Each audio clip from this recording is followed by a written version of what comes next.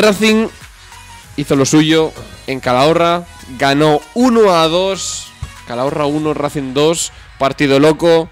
Un partido absolutamente loco, un partido malo del Racing, así a bote pronto te lo digo, porque es que fue así. El Racing que sí que es verdad que, oye, se adelantaba, marcó el primer gol, parecía que podía cerrar el partido, pero no fue así. Y eso que tuvo oportunidades, la primera mitad tuvo ahí alguna que otra ocasión interesante. Pero el Racing, pues, oye, se le puso más cuesta arriba de lo que esperábamos. Se adelantaba en el minuto 52 Cedric con ese pase perfecto de Soco y sin embargo Carlos Vicente en el 80 por parte del Calahorra ponía el empate o en gol por cierto de Carlos Vicente, también lo relataremos y pues oye, gol en propia de, del Calahorra que nos ponía la victoria en el minuto 85, un gol en propia que bueno, entraremos en detalles. Vamos por partes, Daniel. Eh, vamos a analizar primero la, primera mitad, si te parece. Primera mitad. ¿Te parece, Daniel? ¿Me dejas analizarlo? Comienzo. Una primera mitad en el que Racing salió bien. Salía por todas, como viene siendo últimamente habitual, sorprendente pero habitual. Que el Racing salga por todas. Los primeros 15 minutos fueron considerablemente buenos del Racing, eh, encerrando a su rival en su propio campo, creando ocasiones, atacando por las bandas y demás, con más o menos efectividad. Y, oye, tuvimos nuestras oportunidades. En los primeros minutos de partido, por ejemplo, mismamente, gol anulado por parte del Racing. Centraba un balón Pablo Torre que recuperaba a Paul Moreno. Y Paul Moreno, eso sí, le ponía un centro bastante bueno a Bobadilla, que remataba al fondo de las redes. La Linier levantó el banderín y fuera de juego. Gol anulado de Bobadilla. Que conste que el fuera de juego, visto una repetición, no era por parte de Paul Moreno, sino por parte de Bobadilla, en el centro de Paul Moreno, de nuestro defensor. Esa conexión entre centrales, pues oye, levantó el banderín, fuera de juego un tanto justo, pero bueno, lo puedo llegar a entender. Lo que no he podido entender, por más que le he dado vueltas, me he revuelto en mi cama, lo he discutido y debatido con mi almohada, es cómo narices el árbitro no vio el penalti sobre Pablo Torre. Estamos hablando del minuto 10 o 15 de partido. Pablo Torre estaba en el área pequeña, defendiendo un balón, protegiéndolo con su cuerpo, coge el defensor, le pega una patada directamente al tobillo de Pablo Torre. Se tira, se queja el árbitro, todos los jugadores verde y blancos quejándose. El árbitro dice que no nadie el Paraguay, que siga el partido. Palito, hay que dar palitos a la, a la Linier porque. Linier o al árbitro. O sea, Eh, bueno, en este caso yo. En el penalti igual más al árbitro, pero en- iba, iba a hablar del, del fuera de juego. Del, Ah, bueno, de en los tres respecto. minutos. He visto la imagen, es fuera de juego, ¿vale? Es fuera de juego de Bobadilla. de, de bobadilla, pero en la línea se, la, se tira la moneda al aire porque está mal posicionada. O sea, no está posicionada en la línea de fuera de juego. No lo he podido ver bien. Y de hecho, como ella está mal posicionada, siempre se hace, porque yo soy de árbitro y lo he hecho ante la duda, fuera de juego. Acertó, pero perfectamente podría haber fallado, vamos. La linier en colocación, justita. Luego, el penalti. La linier podría haber ayudado por el pinganillo, pero quien tiene la última palabra es el colegiado, que no vio penalti. No sé si algún jugador le, le tapó la espalda o el mismo defensor. le- Yo creo le que no. tapó, Yo creo que no. pero vamos, que. Penalti clamoroso, a Daniel. juicio muy claro. Una Penalti patada, clamoroso. Una patada al tobillo de, de Paul Turrant, de Pablo Torre. eh, Paulinho Turreires. bastante, bastante clara. Bastante claridito que no fue un patadón de estos que dices, madre mía, le ha partido la pierna. Fue una patada directamente, sí que es verdad que intentaba luchar el balón, pero el pie impactó con el pie y con nada más. Entonces, Pablo Torre cayó al suelo, pidió penalti y no se le pitó. Para mí, error del colegiado, penalti claro. Pudimos habernos ido al descanso perfectamente con uno o incluso 2 a 0 si me cuentas el fuera de juego. Y también repetidas ocasiones que tuvo el Racing. Bueno, fuera de juego no lo cuentes porque estaba bien. Al fuera de juego yo creo que eso es. Eh, Estaba bien pitado. Yo, yo creo que está bien pitado también. Sí, sí, sí, yo he visto la imagen, estaba, estaba bien. Bueno, pero aún así, el penalti, el penalti era penalti. penalti. 1-0. Punto. 0-1. nos podríamos- Podremos habernos ido al descanso 0-1, eso sí, quitando los primeros 15, si me apuras, 20 minutos del Racing.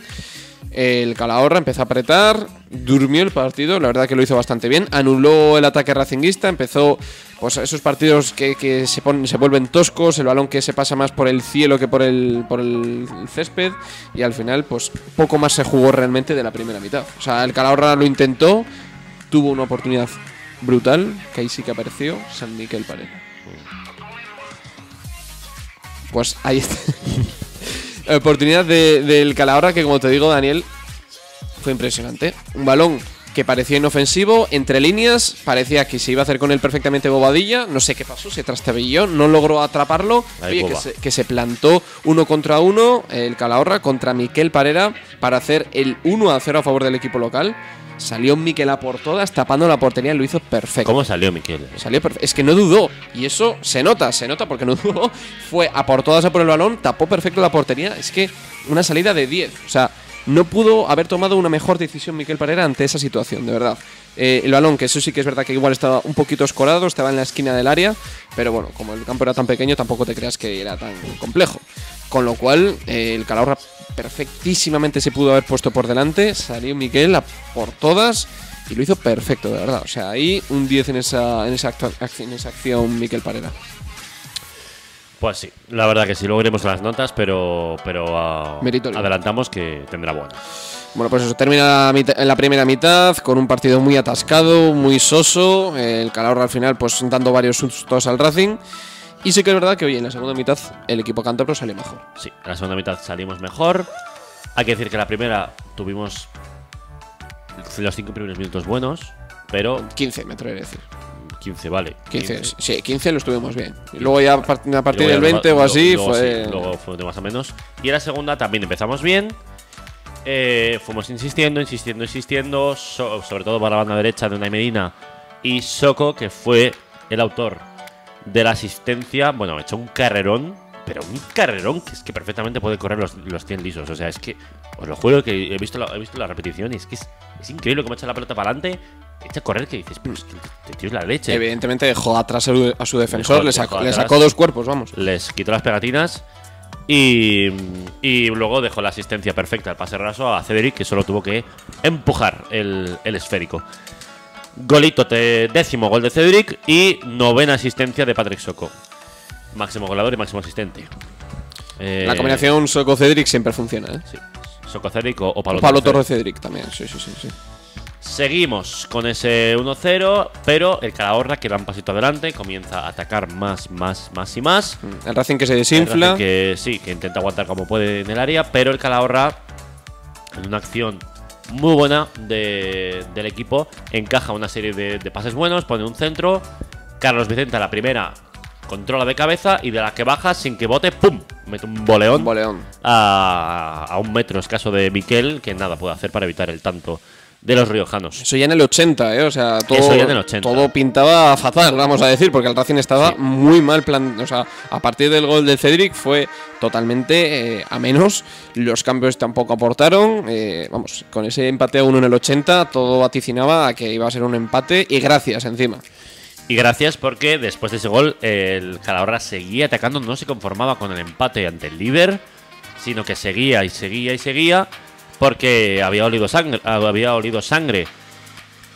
Pero, pero, de repente Apareció un ángel. apareció Carlos Álvarez y cogió y dijo, bueno, pues estoy en mi banda, estoy en mi- per- Jesús Álvarez, perdón.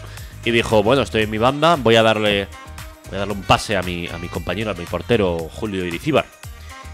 Se fue para atrás, le echó un pase y entre el portero, que estaba un poco perdidillo, y el césped, que daba el balón unos botes que flipas, porque he visto la repetición cinco veces y el, balón va en No, pero, pero no solamente en, la- en esa jugada, en todo el Bueno, partido. claro, en todo el partido. O sea, era hor- horrible. o Esos, sea, bot- esos botes son peligrosos para el portero que precisamente echa así como el pie y de repente el balón se desvía, se Pero- le va por la izquierda y gol. o sea, Gol en propia meta, eh, nadie se lo esperaba, nadie. De hecho yo estaba leyendo chat, ni siquiera estaba mirando la pantalla. Sí, en el partido la verdad es que nos quedamos en plan de ¿qué ha sido gol? ¿Qué ha sido gol? ¿Qué ha pasado? ¿Qué ha pasado? Pues. Ah, De todos modos, también te digo, Daniel, que no le excuses a Iricibar de, de ese gol en propia por el césped. ¿eh? O sea, fue un despiste brutal del portero. No le eches la culpa al césped porque fue pues, bueno, 90% culpa del portero, hay que 10% decir que culpa el, del césped. el balón raso ahí al pie no iba, ¿eh? Bueno, aún así no sé qué, qué se esperaba porque es que se quedó como paraliz- paralizado. O sea, no ves que el balón está yendo directamente a tu izquierda, pues muévete, no sé, da un paso a tu izquierda o, o- algo, pero no, no sé, no sé. Es de esos controles que parece que lo tienes controlado, de repente dices contra. Y se, se pasa al lado tuyo y el gol en propia, que Le gol en propio encima en el 85, sin tiempo para reaccionar. un duro Eh, golpe para el Calahorra, ¿eh? Y el Racing que acabó ganando ese partido por regalo del Calahorra por 1 a 2 en la planilla, gracias a la suerte del campeón. O sea, ya es que está oliendo, no sé si os acordáis, esas jornadas del Depor en los que les salía todo, en el 90, pumba, la metía, seguía con la ventaja, le venía el Dux y, y metían dos campos artificiales en el 90, le venía el Rey de León y lo mismo. Sí, también Pues te digo el Racing tiene esa sensación. También te digo que si viene uno del Deportivo y se queja, que no se queje tanto, porque mismamente el Deportivo, cuando se enfrentó al Calahorra hace escaso un mes, también Iricibar dejó una cantaduca buena que facilitó el gol del Deportivo. Pues aquí ha hecho lo mismo, pero con el Racing. Hombre, exactamente lo mismo no fue, pero vamos a decir que fue otra cantaduca de Iricibar que, pues no sé cómo lo debe estar pasando ahora mismo ese hombre, pero desde luego muy bien, ¿no? Porque, madre de Dios, vaya, vaya cantada, ¿eh? De un punto que podía saber a oro para el Calahorra eh, de, de llevarse- de irse con las manos vacías después del gran partido que hizo, porque jugó su partido el Calahorra. Sí que es verdad que, oye, yo por momentos vi un partido eso, que el Calahorra lo intentaba mover por alto, intentaba que el balón no se jugase demasiado, que no hubiese muchas combinaciones por parte del Racing. Y bueno, oye, lo entiendo porque es pues, juegas a tu a, vamos, a sacar algo de- Sí. del partido, sobre todo contra un líder como el Racing que estaba enrachado. Sí. Y, y que te Pero la y segunda- quitarte los puntos así. Pero tío. eso sí, la segunda parte iban a, a matar, ¿eh? Porque Sí. veían al, al Racing noqueado. Sí, pero sobre todo, pues eso, colgando balones, sobre todo, vamos, a saco. No tanto de combinación, no tanto de Bueno, pases. combinar también combinaron, ¿eh? La jugada del gol, de hecho, el gol del Calahorra Bueno, es pero muy combinativa. vino de un centro al final. Sí, pero, pero los pases que da antes de llegar a la banda. Sí, pero eso era al final para buscar un poco el hueco y sa- sacar el centro. Al final, muchísimo juego aéreo por parte del Calahorra, yo vi. Y eso no nos. No nos Yo vi juego aéreo para las dos partes. Pelotazos del Racing a punta pala, que, son raros de ver, y, y el, mucho el balón para alto, que eso el Racing pues le beneficia muy poco. Eh, y, la, y la desgracia de Julio Iricibar, que, que encima es un tío majo. Que encima yo, yo, le yo le he hablado con él. He hablado con Julio Iricibar cuando yo tenía mis 16 años. Voy a contar una anécdota. Me fui a Estella a ver el Izarra Racing. Partidazo en la cumbre, madre de Dios. Izarra Racing. Madre mía, Izarra Racing. Izarra Racing. Qué, ¿eh? qué partido. Luego, luego lo hablas con otra gente y dices, sí, yo fui al Bernabéu, yo fui al Camp Nou, yo fui a Mestalla a ver el Racing. Yo fui. a ver, ¿Cómo A se llama? el Estella, Estella. Navarra. A ver el Izarra Racing. A ver, Izarra Racing. ¡Buah! Espectacular. ¿Cómo suena, eh? Espectacular. Y, y estaba ahí, era, por, por aquel entonces era portero de Lizarra, Julio, Julio Iricíbar. Y nosotros, yo iba con un colega y le, y le saludamos en plan, pues para hacer el idiota. Dice, hola Julio, tal. Y cogió y nos miró y empieza, hombre, ¿qué tal? Y me dice, ¿me conocéis del Valladolid B, no? Y nosotros, eh, ¿sí? Sí. Brutal, brutal, muy majete Julio Iricíbar, pero pobre hombre. Sí, pero encima no es la primera cantada, como decimos, que ha Por, hecho en la por cierto temporada. que salimos empate a cero de Lizarra. Vaya partido. Pasado pisado, Daniel. Ahora céntrate en la realidad, en el presente